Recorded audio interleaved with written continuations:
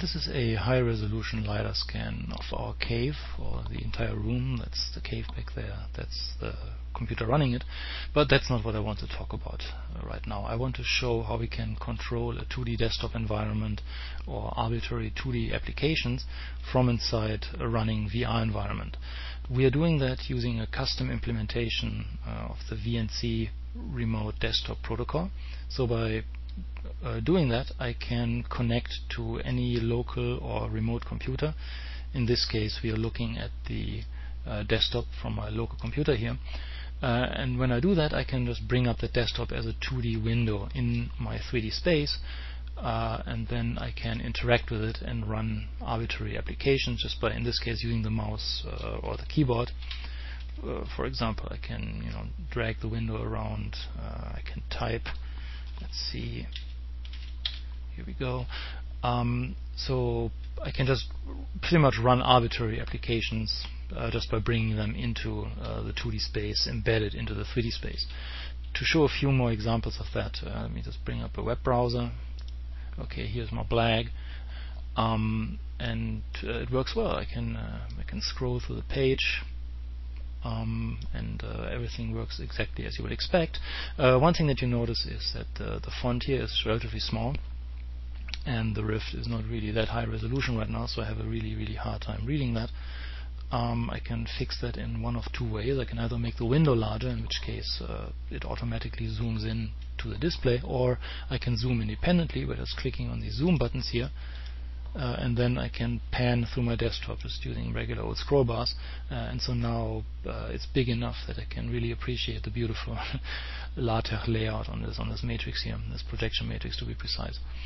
So this allows me to uh, to work with uh, with the desktop, uh, being able to read the text and so forth, no matter what the resolution of my device is.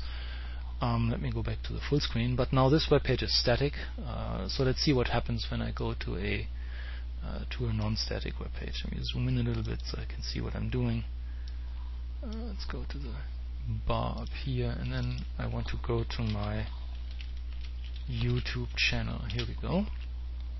Uh, then let's go full screen and let's run let's see what happens when we run a video um, I want to run this one this is a nice video now the VNC client here is of course using a remote desktop protocol meaning that uh, it's just uh, running all of the applications on the other desktop and putting the desktop images in here.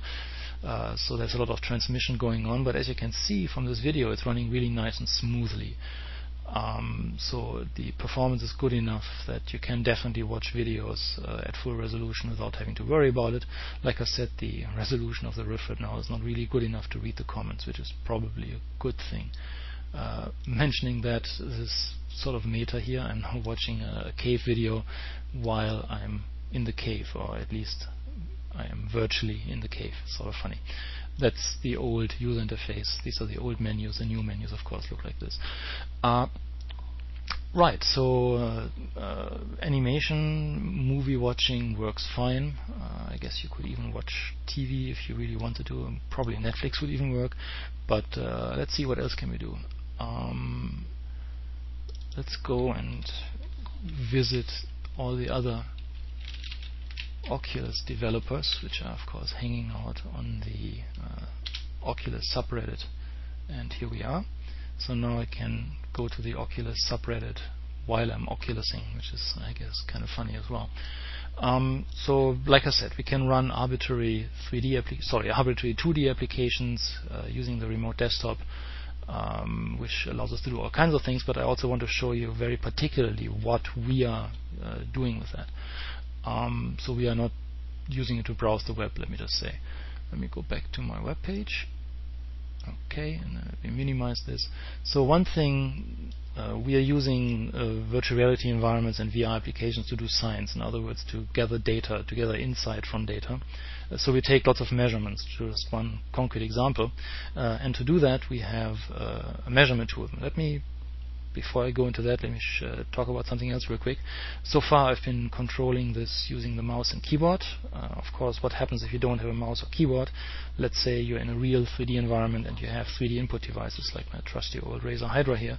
And the answer is uh, it works just the same way. So if you point the Hydra at the uh, display window, at the VNC window, then you just get this laser point and you can already see how the mouse cursor is tracking that. Uh, so I can just by pressing a button, I can drag the windows around, um, can you know click on things, whatever. Um, I can also, of course, use the Hydra to uh, uh, change the interact with the window itself, like I'm doing here. Uh, or I can use it to pick it up now because the Hydra is a 3D input device. I can pick the window up in full 3D, so I can look at the back of it, which is you know kind of boring. Uh, I can put it over there on the side if I want to. Uh, not really going to do that now. So let me show you uh, an example of, uh, of what I what I mean by by taking by, by, taking data. So I'm going to create a measurement tool, uh, which creates yet another dialog box, which I'm going to put over here on the side.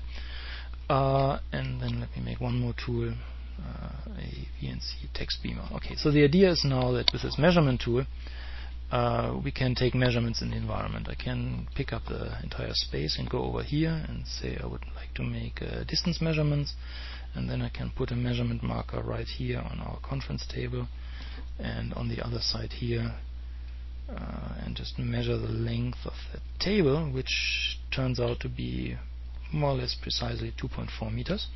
So now whenever I take these measurements, this is really what I take out of the VR environment. So how do you get these values out? Well, you could either write them down on paper, but that of course is not really good. Uh, what the measurement dialog does by itself, it, it writes all of these to a log file that you can then come back to later and uh, and analyze them more uh, in detail. But as it turns out, using this remote desktop thing, we can do something very convenient. Uh, we can just directly beam the data uh, into a spreadsheet running on the 2D desktop. Let me do that here. Uh, I'm going to open up. Uh, now I need to bring this a bit closer. I can't see it. I want to go and bring up my spreadsheet. Here we go. Well, okay, no, there it is. Um, and then I can just beam the data directly in there so I can annotate it um, from inside the environment, which of course is quite useful. Okay, come on, start up. There you go. Alright, let me zoom in a little bit.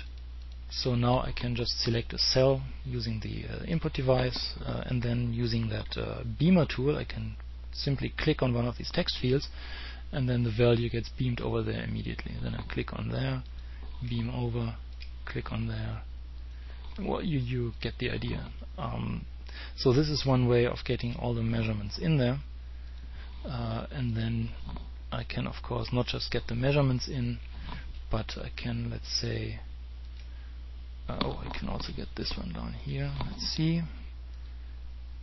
Oops wrong button. Wanted to press this guy yes. So then I can for example here write using the keyboard again. Now this is going to be challenging. As I mentioned I'm a really bad really bad typist. Uh, so let's see if I can manage. I want to write no it worked. Let's see. Need to find my